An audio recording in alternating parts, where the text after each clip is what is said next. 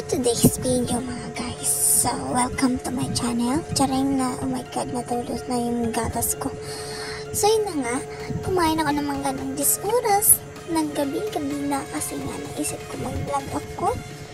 Kasi naboring ako at saka mga anak ko at saka yung bara ko tulog na. So, ang gagawin ko, kumain na lang ng mangga kasi naboring ako.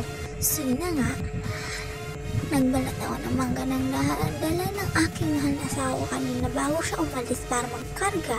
Inuwayan niya muna ako ng mangga na napasarap sila. Nagbabayarang match na nabigay nga pala naman mangga sa mahal ko asawa. Ah, nalighay pa ako na busog na ako. Kasi kumain ako ng mangga. Thank you, very much guys sa mga sa, sa may-ari ng mangga na ito. Hindi ko alam kung sino ba yun. Sa thank you very much. Napakatamis na nilagyan ko pa yun ng asukal para gusto ko yung masarap na masarap, diba? So yun na nga. Kumain ako kahit napakalamig. Parang nasa ibang bansa ako. Nasa America, charing. Napakalamig. So please subscribe and share my YouTube channel. Thank you!